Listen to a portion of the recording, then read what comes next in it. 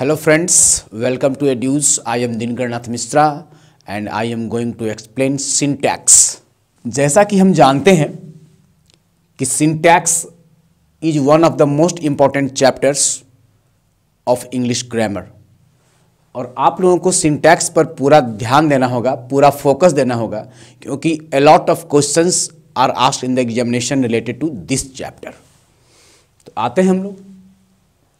Syntax है क्या? Syntax का मतलब होता है subject verb agreement subject verb agreement कोई भी सेंटेंस हो, उसमें सब्जेक्ट और वर्ब तो आना मस्ट है। बिना सब्जेक्ट के वर्ब नहीं आ सकता। सब्जेक्ट वर्ब एग्रीमेंट का मतलब हुआ सब्जेक्ट का वर्ब के साथ एडजस्टमेंट यानी तालमेल, यानी समझौता। दोनों में एग्रीमेंट ये हुआ कि यदि सेंटेंस का सब्जेक्ट सिंगुलर होगा तो वर्ब भी हमारा सिंगुलर होगा। और यदि सेंटेंस का सब्जेक्ट हमारा प्लूरल होगा तो वर्ब भी हमारा प्लूरल होगा। कहने का मतलब singular subject singular verb plural subject plural verb for example यदि हम लिखते हैं the cat is drinking milk drinking milk तो हम देखते क्या है कि द कैट सेंटेंस का सब्जेक्ट है जो सिंगुलर है। तो इस कैट के सिंगुलर होने के कारण वर्ब भी हमारा सिंगुलर होगा। और जैसा कि हम जानते हैं कि ईज सिंगुलर है आर प्लूरल है वज सिंगुलर है वर प्लूरल है हैज़ सिंगुलर है हैव प्लूरल है डच सिंगुलर है डू प्लूरल है, भी फाइव सिंगुलर है, भी वन प्लूरल है। तो पहले एक बार हम लोग देखते हैं सिंगुलर वर्ब और plural verb singular verb and plural verb singular verb में आता है is was has does and V five plural verb में आता है are were have do and V one next example हम लेते हैं. यदि हम लिखते हैं the cats are drinking milk तो हम ये देखते हैं कि इस सेंटेंस का सब्जेक्ट द कैट्स है, जो कि प्लूरल है। कैट का प्लूरल कैट्स तो जब सेंटेंस का सब्जेक्ट प्लूरल होगा तो वर्ब भी हमारा प्लूरल होगा। तो आर जो है प्लूरल वर्ब है, इसलिए द कैट्स के साथ आर होगा और द कैट के साथ ईज होगा। अब हम लोग कुछ इंपॉर्टेंट पॉइंट्स पर चलते हैं। जो बहुत ही इंपॉर्टेंट है कॉम्पिटिटिव एग्जामिनेशन के लिए। कुछ ऐसे कंडीशंस हैं, कुछ ऐसे सिचुएशंस हैं where students often get confuse students हमेशा कन्फ्यूज़ हो जाते हैं। उनको पता नहीं चल पाता है कि एक्चुअल सब्जेक्ट कौन सा है। ऐसा तब प्रॉब्लम होता है जब किसी सेंटेंस का सब्जेक्ट कोई फ्रेज हो। तो फ्रेज क्या है? फ्रेज ऐसे ग्रुप ऑफ़ वर्ड्स को कहते हैं फ्रेज ऐसे ग्रुप ऑफ़ वर्ड्स को कहते हैं जो एक यूनिट बना लेता हो। और यदि वो सेंटेंस का सब्जेक्ट बनता है तो स्टूडेंट्स को प्रॉब्लम होता है। उसी प्रॉब्लम को सॉल्व करने के लिए हम कुछ पॉइंट्स का ज़िक्र करेंगे और आप लोग को ध्यान से देखना होगा। पहला है, यदि किसी सेंटेंस का सब्जेक्ट कोई ऐसा फ्रेज हो जिसमें प्रेपोजिशन हो, ऐसे कंडीशन में क्या होना चाहिए? For example a box of chocolates has और have been missed a box of chocolates has और हैव बीन मिस्ड इस सेंटेंस का सब्जेक्ट हो गया a box of chocolates a box of chocolates एक फ्रेज है। फ्रेज का मतलब ऐसे ग्रुप ऑफ़ वर्ड्स जो एक यूनिट बना लें। और इस फ्रेज में अ बॉक्स ऑफ़ चॉकलेट्स ये चार वर्ड्स आए हुए हैं। और इन फ्रेज में हम देखते हैं, इस फ्रेज में हम देखते हैं कि एक प्रेपोजिशन आया हुआ है ऑफ़ तो रूल है कि यदि किसी सेंटेंस का सब्जेक्ट कोई ऐसा फ्रेज हो, जिसमें एक प्रेपोजिशन हो तो उस प्रेपोजिशन के पहले जो आने वाला नाउन या प्रोनाउन होगा वो सेंटेंस का मेन सब्जेक्ट कहलाएगा प्रिंसिपल सब्जेक्ट कहलाएगा, और वर्ब जो है उसी के अकॉर्डिंग लगेगा। तो मेन सब्जेक्ट जो हमारा हुआ बॉक्स क्योंकि प्रेपोजिशन के पहले जो नाउन है बॉक्स है, वो सिंगलर है। और हम जानते हैं यदि सिंगलर सब्जेक्ट रहेगा तो वर्ब भी हमारा सिंगलर होगा। सिंगलर वर्ब में हैज़ आता है हैव नहीं। इसलिए हैज़ जो है हमारा करेक्ट होगा। A box of chocolates has have been missed दूसरा the sons of the brother of Ram's friend is और आर कमिंग हेयर अब यहाँ देखना है, इस सेंटेंस का सब्जेक्ट द से लेकर के फ्रेंड तक है।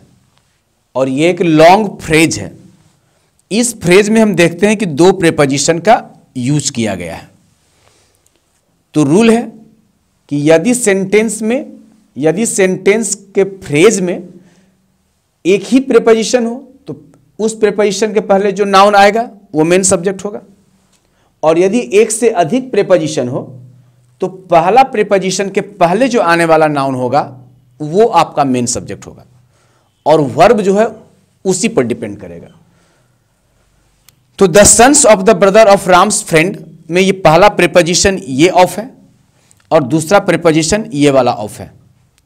ये फ़र्स्ट प्रेपोजिशन और ये सेकंड प्रेपोजिशन तो पहला प्रेपोजिशन के पहले जो आने वाला नाउन जो कि सन्स है, जैसा आप जानते हैं कि सन्स प्लूरल है नाउन में एस या एस लगाते हैं तो प्लूरल हो जाता है। तो सन्स जो है, वो हो गया प्लूरल और वर्ब जो होगा उसी सन्स पर डिपेंड करेगा। तो सन्स प्लूरल होने के कारण हमारा वर्ब भी जो है प्लूरल होगा। आर प्लूरल है और इज़ सिंगुलर है।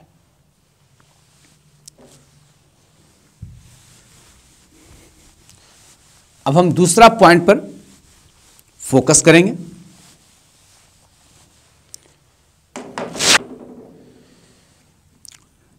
अब देखना है हमको वन ऑफ़ द वाले स्ट्रक्चर में क्या होता है। एक स्ट्रक्चर है वन ऑफ़ द के बाद आने वाला नाउन जो होता है, वो प्लूरल होता है।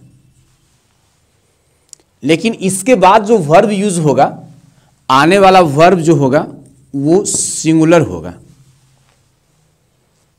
For example one of the student और स्टूडेंट्स हैज़ और have passed the examination passed the examination इस सेंटेंस का subject one of the student students तो ये देखना है हमको कि वन ऑफ़ द के बाद आने वाला जो नाउन होगा, वो कैसा होगा? क्योंकि एग्ज़ाम में क्वेश्चंस नाउन पर भी बेस्ट आते हैं और वर्ब पर भी बेस्ट आते हैं। कभी वर्ब को एरर करके देता है और कभी नाउन को एरर करके देता है। तो देखना यह है कि वन ऑफ़ द के बाद आने वाला नाउन जो होगा according to the structure plural होगा। इसलिए वन ऑफ़ द स्टूडेंट नहीं होगा वन ऑफ़ द स्टूडेंट्स होगा। और जहाँ तक वर्ब की बात है वर्ब हमारा सिंगलर होगा हैज़ हैव नहीं होगा। इसके पीछे रीजन ये है कि वन ऑफ़ द स्टूडेंट्स जो फ्रेज है उस फ्रेज का मेन सब्जेक्ट जो है, ये वन आता है। और इसी वन के कारण जो है, सो यहाँ पर वर्ब जो है हैज़ हुआ। इसका अर्थ निकला, विद्यार्थियों में से एक एग्ज़ाम पास कर चुका है। विद्यार्थी बहुत सारे हैं स्टूडेंट्स बहुत सारे हैं, लेकिन पास करने वाले विद्यार्थी एक ही हैं। इसलिए सब्जेक्ट सिंगलर तो वर्ब सिंगलर इसका एक और स्ट्रक्चर है कि वन ऑफ़ द के बाद आने वाला जो नाउन होगा, वो प्लूरल होगा। और इसके बाद आने वाला, यदि इसके बाद तुरंत वर्ब नहीं आए, इसके बाद यदि हु आ जाए विच आ जाए दैट आ जाए दोज आ जाए तो आने वाला वर्ब जो होगा, वो प्लूरल होगा। ये बहुत ही इंपॉर्टेंट है और बहुत बार एग्ज़ाम में क्वेश्चंस इससे रिलेटेड पूछे गए हैं। For example he is one of the student who has और have passed the examination passed the examination तो देखना हमको ये है कि वन ऑफ़ द के बाद आने वाला नाउन प्लूरल होगा, इसलिए स्टूडेंट के प्लेस पर होगा स्टूडेंट्स और जैसा कि स्ट्रक्चर में बोला गया है, लिखा गया है, उसके बाद यदि हु विच दैट या दोज में से कोई भी आ जाएगा तो आने वाला वर्ब जो होगा सो प्लूरल है। यहाँ हम देख रहे हैं कि हु है तो हु के बाद आने वाला जो वर्ब होगा हमारा प्लूरल होगा। हैव प्लूरल है हैज़ सिंगलर है, इसलिए हैज़ रॉन्ग हो जाएगा और हैव राइट right हो जाएगा। एक और स्ट्रक्चर है इसका इसका एक और स्ट्रक्चर है। कि वन ऑफ़ द के बाद आने वाला नाउन प्लूरल तो होगा। इसके बाद यदि हु आ जाए विच आ जाए दैट आ जाए दोज आ जाए तो आने वाला वर्ब जो होगा सो प्लूरल बट यदि सेंटेंस और आगे बढ़ जाता है, और आगे कोई और वर्ब सेंटेंस में आता हो तो आगे आने वाला वर्ब जो होगा सो सिंगुलर होगा। ये बहुत ही इंपॉर्टेंट है very very important for example one of the student who has passed the examination, passed the examination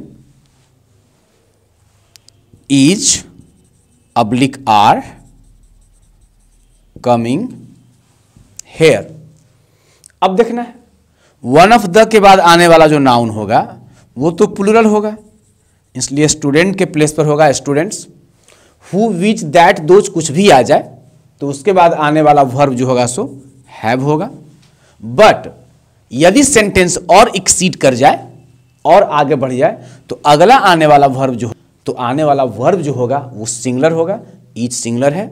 are plural है, इसलिए आर कट गया ईच सही हो गया। नेक्स्ट पॉइंट नेक्स्ट पॉइंट हमारा है such and such a certain and a certain many and many a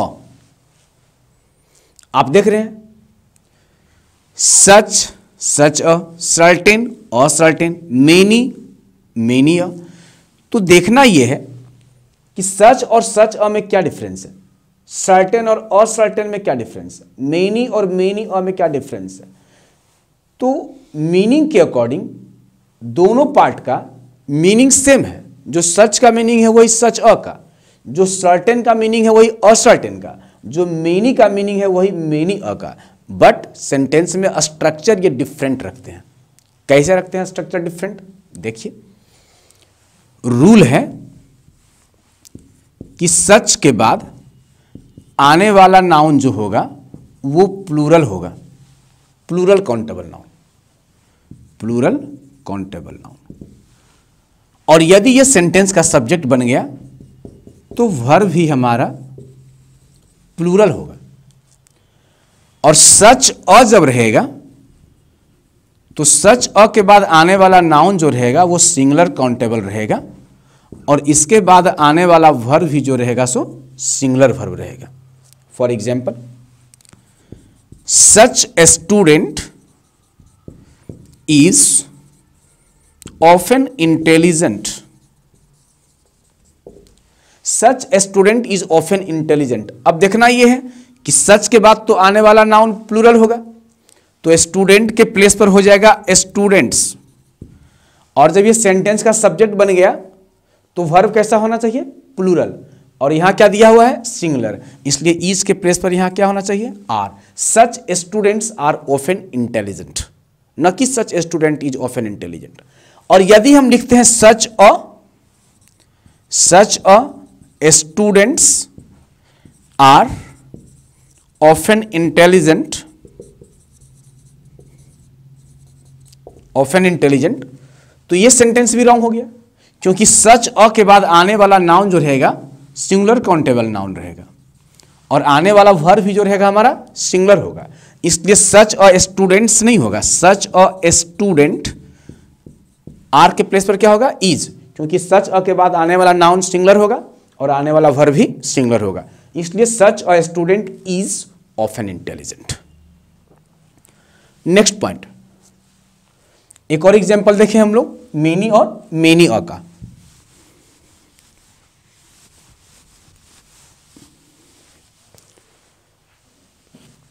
many and many a इससे related questions बहुत सारे एग्ज़ाम्स में आते हैं. Many and many a what's the difference between many and many a तो difference ये है कि मेनी के बाद आने वाला नाउन जो होगा, वो प्लूरल काउंटेबल नाउन होगा। काउंटेबल नाउन होगा। और ये सेंटेंस का सब्जेक्ट बन गया तो वर्ब भी प्लूरल ही होगा। क्योंकि plural subject plural verb and singular subject singular verb many problem has been created has been created और आपका ये सेंटेंस रॉन्ग हो गया। क्योंकि मेनी जो है, एक से अधिक संख्या को दिखाता है। तो मेनी प्रॉब्लम नहीं होगा। स्ट्रक्चर भी कह रहा है, मेनी के बाद आने वाला नाउन जो होगा प्लूरल काउंटेबल नाउन होगा। और सब्जेक्ट बन गया तो भर भी प्लूरल होगा। इसलिए मेनी प्रॉब्लम के प्लेस पर many problems has been created नहीं हैव बीन क्रिएटेड इसलिए कि हैव प्लूरल है और हैज़ सिंगुलर है। और यदि हम लिखते हैं इस सेंटेंस को इस तरह से, many a problems have been created have been created तो ये सेंटेंस भी रॉन्ग हो जाता है।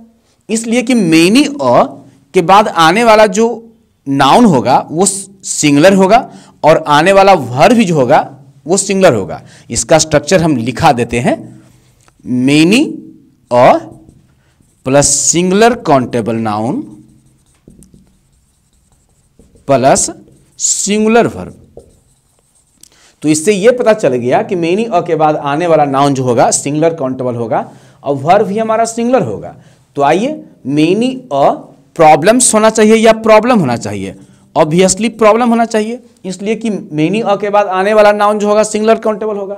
और जब सेंटेंस का सब्जेक्ट बन जाएगा तो वर्ब हमारा सिंगुलर होगा। इसलिए हैव के प्लेस पर has many a problem has been created next point majority majority of से क्वेश्चन एग्ज़ाम में आते हैं। For example the majority of the students student और स्टूडेंट्स हैज़ और have decided to stay here to stay here और एक दूसरा question है द मजॉरिटी हैज़ और have decided to stay here ये बहुत ही इंपॉर्टेंट है और एग्ज़ाम में क्वेश्चंस इससे रिलेटेड आते हैं। तो सबसे पहले तो ये ध्यान रखना है कि यदि किसी सेंटेंस का सब्जेक्ट ओनली मेजॉरिटी हो तो सिर्फ़ मेजॉरिटी सेंटेंस का सब्जेक्ट हो तो आने वाला वर्ब हमारा सिंगुलर भी हो सकता है और प्लूरल भी हो सकता है। बट मेजॉरिटी ऑफ़ जब सेंटेंस का सब्जेक्ट का पार्ट हो तो सबसे पहले तो ये ध्यान देना है कि मेजॉरिटी ऑफ़ के बाद आने वाला जो नाउन होगा, वो तो प्लूरल होगा। क्योंकि मेजॉरिटी तब होगा जब संख्या बहुत सारी होगी। और वर्ब भी जो होगा हमारा, वो प्लूरल होगा सिंगुलर नहीं होगा। For example the majority of the student students तो मेजोरिटी ऑफ़ के बाद आने वाला नाउन जो हमारा प्लूरल होगा, और वर्ब भी हमारा प्लूरल होगा। लेकिन जब द मेजोरिटी सिर्फ़ सेंटेंस का सब्जेक्ट हो तो वर्ब हमारा सिंगुलर हो, भी हो सकता है प्लूरल भी हो सकता है। तो इसका स्ट्रक्चर हम लोग इस प्रकार से लिखेंगे। The majority the majority plus singular verb plural verb plural verb and the majority of the majority of के बाद सिंगुलर नाउन तो होगा नहीं प्लूरल नाउन होगा। प्लूरल नाउन होगा और उसके बाद भर भी जो होगा सो प्लूरल होगा। चलिए नेक्स्ट पॉइंट में हम लोग आते हैं। Number of and the number of बहुत ही इंपॉर्टेंट एग्ज़ाम्स में बहुत सारे क्वेश्चंस एग्ज़ाम में आते हैं. देखा जाए? A number of and the number of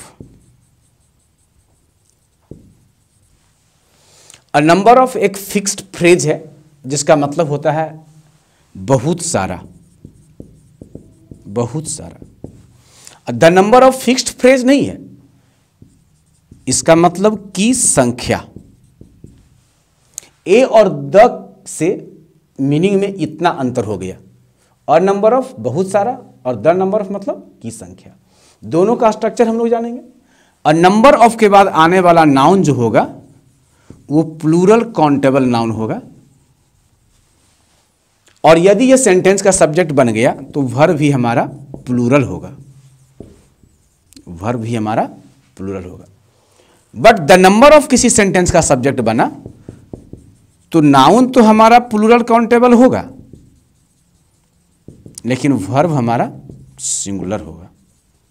point to be noted बहुत कम ऐसा होता है कि प्लूरल काउंटेबल नाउन के बाद सिंगुलर वर्ब होता है। जनरली क्या होता है? Singular countable noun singular verb plural countable noun plural verb लेकिन यहाँ पर जो है जो है कि द नंबर ऑफ़ यदि सेंटेंस का सब्जेक्ट का पार्ट हो गया तो उसके बाद आने वाला नाउन जो होगा प्लूरल काउंटेबल होगा और वर्ब जो होगा, so singular for example a number of a number of question और क्वेश्चंस हैच और have been raised. A number of question or questions the noun coming after a number of must be plural therefore a number of questions has or have तो have क्योंकि a number of के बाद आने वाला noun plural होगा और यदि वो सेंटेंस का सब्जेक्ट बन जाएगा तो भर भी हमारा प्लूरल होगा इसलिए a number of questions have been raised दूसरा देखते हैं हम लोग द नंबर ऑफ़ क्वेश्चन और क्वेश्चंस ईच आर सिक्सटी प्रश्नों की संख्या साठ है। The number of the number of के बाद आने वाले नाउन प्लूरल तो होंगे। लेकिन वर्ब हमारा क्या होगा? सिंगुलर इसका रीजन ये है कि इस वर्ब का एक्चुअल सब्जेक्ट द नंबर है। विद्यार्थियों की संख्या साठ है। तो इसका मेन सब्जेक्ट जो है यहाँ पर द नंबर है। नेक्स्ट पॉइंट में हम लोग आते हैं। A good many a good many and a great many a great many ये दोनों फ्रेज का मीनिंग सेम है। सिर्फ़ गुड के जगह पर ग्रेट आया हुआ है, लेकिन मीनिंग यहाँ पर सेम है और दोनों सेम स्ट्रक्चर रखते हैं। क्या सेम स्ट्रक्चर रखते हैं? कि अ गुड मेनी हो या अ ग्रेट मेनी हो, उसके बाद आने वाला नाउन प्लूरल काउंटेबल होगा। प्लूरल काउंटेबल नाउन होगा। और यदि ये सेंटेंस का सब्जेक्ट बन गया तो वर्ब भी हमारा प्लूरल होगा। प्लूरल वर्ब होगा। For example a good many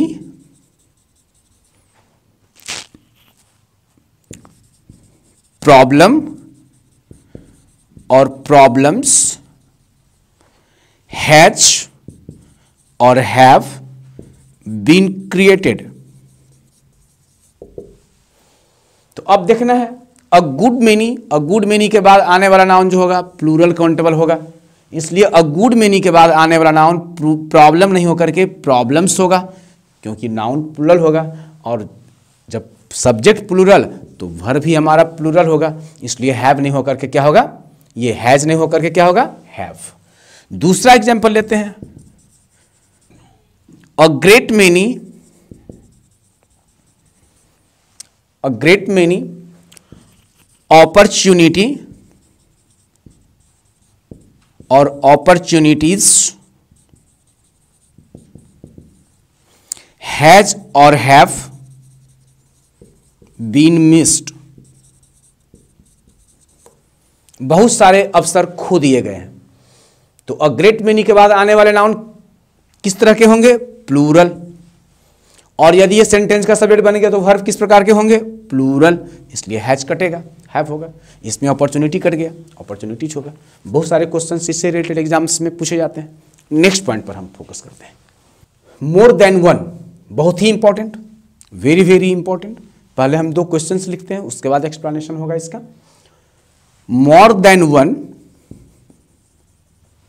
more than one student और स्टूडेंट्स हैज़ और have won the prize.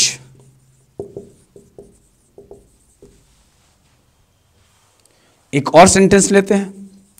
More student और स्टूडेंट्स देन वन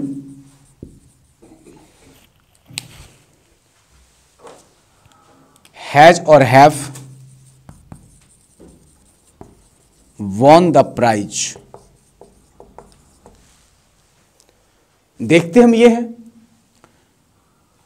कि more than one student students has have won the prize और more student students than one has have won the prize the meaning of both of the sentences is the same दोनों sentence का meaning same है but structures are different structure different क्या हो गया? Rule कहता है कि यदि किसी सेंटेंस का सब्जेक्ट का पार्ट मोर देन वन हो तो उसके बाद आने वाला नाउन हमारा सिंगुलर होगा प्लूरल नहीं होगा। जबकि मीनिंग प्लूरल का निकल रहा है, फिर भी फिर भी जो है नाउन जो होगा, वो सिंगलर होगा। मोर देन वन स्टूडेंट और आने वाला वर्ड भी जो है वो सिंगलर होगा। But in the second sentence हम देखते हैं कि मोर के बाद स्टूडेंट या स्टूडेंट्स जो लिखा हुआ है, उसमें स्टूडेंट नहीं होगा, स्टूडेंट्स होगा। क्योंकि रूल है कि मोर के ठीक बाद यदि नाउन आ जाए, तब प्लूरल होगा। और तब देन वन के बाद आने वाला वर्ब जो होगा, वो भी प्लूरल होगा। और जबकि दोनों का मीनिंग जो है सेम होगा। More than one student has won the prize more students than one have won the prize और दोनों सेंटेंस का मीनिंग जो है सेम दोनों का अर्थ निकल रहा है। एक से अधिक विद्यार्थी प्राइज जीत चुके हैं। नेक्स्ट पॉइंट में हम लोग चलते हैं। तो इसका स्ट्रक्चर हम लोग पहले लिख लें। यह स्ट्रक्चर इसका होगा? More than one plus singular countable noun countable noun plus singular verb singular verb और इसका होगा more plus plural countable noun plus plural verb sorry plural countable noun plus than one plus than one plus plural verb अब हम लोग दूसरे point पर चलते हैं. There and the following there and the following बहुत ही सिंपल है. लेकिन क्वेश्चंस एग्ज़ाम में आते हैं. यदि किसी सेंटेंस का सब्जेक्ट के प्लेस पर देयर हो द फॉलोइंग हो तो उसके बाद आने वाला वर्ब जो होगा, ये वर्ब डिपेंड करेगा अपने बाद आने वाले नाउन पर। इस नाउन पर डिपेंड करेगा। यदि ये नाउन सिंगुलर हो गया तो वर्ब भी सिंगुलर होगा। और यदि ये नाउन प्लूरल हो गया तो वर्ब भी हमारा प्लूरल होगा। फॉर एग्ज़ाम्पल देयर वच और वर अ किंग तो अब देखना कि देयर के बाद वज होगा कि वर होगा। तो देयर के बाद आने वाला वर्ब डिपेंड करेगा अपने बाद आने वाले नाउन पर। तो हम देख रहे हैं कि अ किंग जो है, वो सिंगलर नाउन है। और सिंगलर नाउन होने के कारण वर्ब भी हमारा क्या होगा? Singular there was a king यदि हम ऐसे लिखते हैं देयर वॉज़ और वर किंग्स तो देखते क्या है? कि देयर के बाद जो वर्ब आया है, उसके बाद आने वाला नाउन प्लूरल है। और प्लूरल नाउन जब आया हुआ है तो वर्ब भी हमारा प्लूरल होगा। उसी तरह से द फॉलोइंग के साथ भी वही रूल है। Next point a lot of lots of a lot of lots of क्या है? A lot of lots of all of and some of. यदि किसी सेंटेंस के सब्जेक्ट के पार्ट में a lot of lots of all of था some of हो। तो इसके बाद आने वाले नाउन्स दो में से कोई भी एक प्रकार के हो सकते हैं। इसके बाद आने वाले नाउन्स यदि काउंटेबल होंगे तो प्लूरल काउंटेबल नाउन ही आ सकते हैं। इसके बाद इसके बाद आने वाले नाउन्स सिंगुलर काउंटेबल नहीं आएँगे प्लूरल काउंटेबल नाउन ही आएँगे। और या तो फिर अनकाउंटेबल नाउन आ सकते हैं। अनकाउंटेबल आ सकते हैं। इसके साथ सिंगुलर काउंटेबल नाउन नहीं आता। और यदि प्लूरल काउंटेबल नाउन आया और सेंटेंस का सब्जेक्ट बन गया, तब तो प्लूरल भर और यदि अनकाउंटेबल नाउन किसी सेंटेंस का सब्जेक्ट बना, तब सिंगुलर वर्ब क्योंकि अनकाउंटेबल नाउन हमेशा सिंगुलर वर्ब रखते हैं। For example a lot of problem और problems has have been solved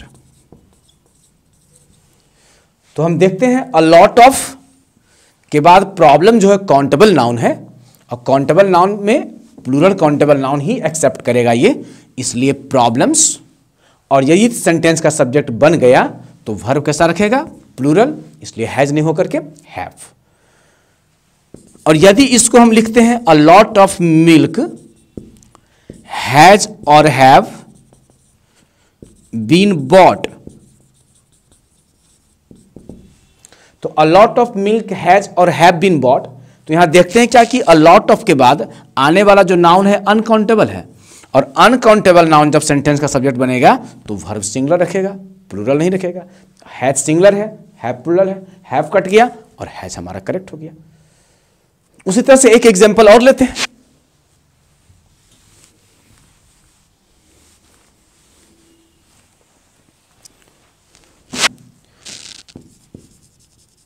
Some of the mango is rotten तो सम ऑफ़ द तो सम ऑफ़ के बाद आने वाले नाउन यदि काउंटेबल होंगे तो प्लूरल काउंटेबल नाउन ही आ सकते हैं। सिंगुलर काउंटेबल नाउन तो होंगे नहीं। इसलिए मैंगो के प्लेस पर मैंगोज और यदि सब्जेक्ट प्लूरल हमारा हो गया तो भर भी हमारा प्लूरल होगा। इसलिए ईज के प्लेस पर आर और यदि हम लिखते हैं some of the milk is और आर सॉर तो some of the milk milk uncountable noun है, और अनकाउंटेबल नाउन जब सेंटेंस का सब्जेक्ट बनेगा तो वर्ब हमारा सिंगलर होगा, इसलिए इज़ आर नहीं होगा, कट जाएगा। नेक्स्ट एग्जांपल ये next point two thirds of two thirds of सिर्फ़ टू थर्ड्स ऑफ़ ही नहीं वन थर्ड ऑफ़ ही कर सकते हैं हम लोग। कहने का मतलब है कि कोई भी फ्रैक्शन कोई भी फ्रैक्शन वन फिफ्थ भी हो सकता है टू फिफ्थ भी हो सकता है। इसी कैटेगरी में अ क्वार्टर ऑफ़ हो सकता है। अ क्वार्टर ऑफ़ इसी में द रेस्ट ऑफ़ आ सकता है। और इसी में हाफ़ ऑफ़ भी आ सकता है। यानी चारों के साथ सेम कंडीशन सेम कंडीशन क्या है? कि यदि किसी सेंटेंस का सब्जेक्ट कोई फ्रैक्शन हो, या अ क्वार्टर ऑफ़ हो, या द रेस्ट ऑफ़ हो, या हाफ़ ऑफ़ हो तो ऐसी स्थिति में तीन कंडीशंस पैदा होते हैं। कौन कौन तीन कंडीशंस इसके बाद जो आने वाले नाउन्स होंगे वो तीन प्रकार में से कोई भी प्रकार के हो सकते हैं। क्या क्या यदि इसके बाद नाउन काउंटेबल होंगे तो प्लूरल काउंटेबल भी हो सकते हैं। आने वाले नाउन प्लूरल काउंटेबल भी हो सकते हैं। सिंगुलर काउंटेबल भी हो सकते हैं। और अनकाउंटेबल भी हो सकते हैं। अनकाउंटेबल भी हो सकते हैं। और यदि प्लूरल काउंटेबल नाउन आ गया तो इसके बाद आने वाला वर्ब जो होगा, वो प्लूरल होगा।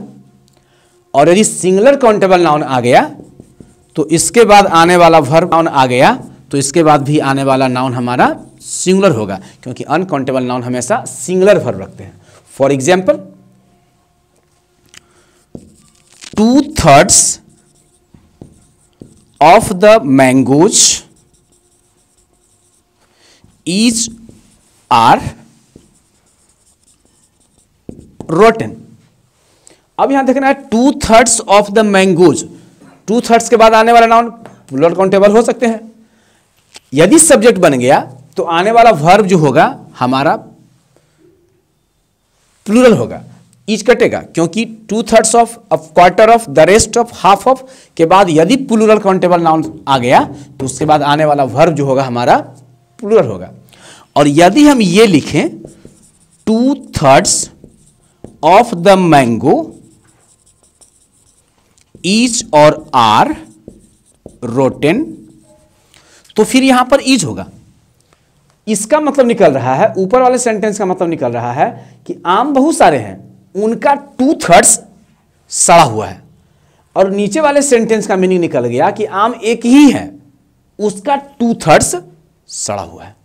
इसलिए two thirds of the mango is rotten two thirds के बाद आने वाले नाउन यदि सिंगुलर काउंटेबल होंगे तो भर भी सिंगुलर होगा।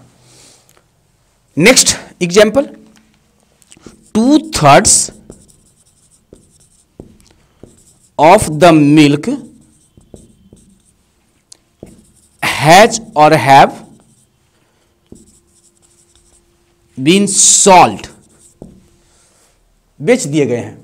तो two thirds of the milk milk uncountable noun है, इसलिए उसके बाद आने वाला जो वर्ब होगा हमारा, वो सिंगुलर होगा और हैव नहीं होगा हैच होगा। आज इतना ही।